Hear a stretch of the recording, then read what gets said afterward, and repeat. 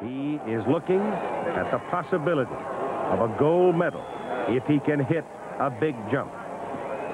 He's looking at the flag held by the official at the end of the in run. The wind gusting quite brisk. He's on his way.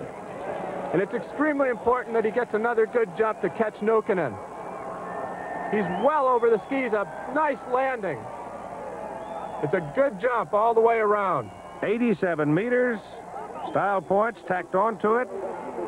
215.2 points for Jens Weisflog of East Germany. Something for Mr. Nykänen to think about. Another look at it. Projected himself into the air, quickly got over the skis, maintained his air velocity, a beautiful curve right here, and goes into a nice telemark landing. And he has provided a cauldron of pressure for Matti Nuukkonen. poika ja näin lähtee Matti. Pieni nopeus 98,1 vaikeuksia alussa, mutta hienosti hän venyttää yli kriittisen pisteen. Siinä on väkiennätys. Kyllä. Todella loistava loppu. Mielestäni Matilla oli alussa pieniä.